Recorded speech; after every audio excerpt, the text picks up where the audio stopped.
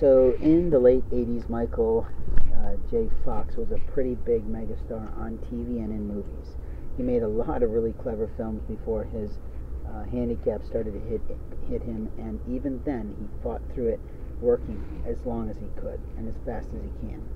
He completely lucked out with the hot woman and beautiful star that he chose, We met on the set of his Family Ties show. But that's not the point of my discussion.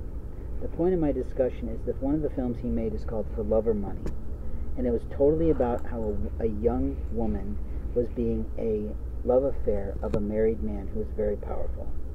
And how he met this girl and sort of liked her, but was just doing busy doing his job as a manager or a, some sort of bellhop. I can't remember in a hotel.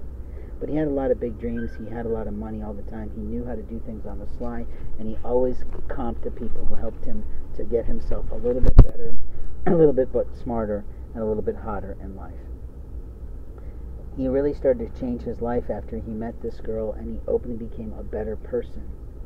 And he openly started to talk to people honestly who could really help him and he openly understood what to do to make sure people did not get taken advantage of in his hotel. But at the same time, he still made a living on the side of what he was doing. So that showed us in that moment of time that multiple income streams are really important and really fine in a life. But that's not the point of my discussion of that film. What we're trying to be reminded of in society by the end of the romantic comedy is that love is more important than money.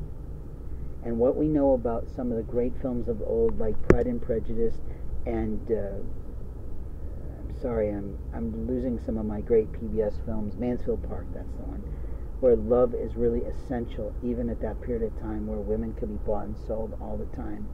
Is that a woman's love is the most important thing of all to any man, woman, or child. A mother's love is important. A lover's love is important. A friend's love is important.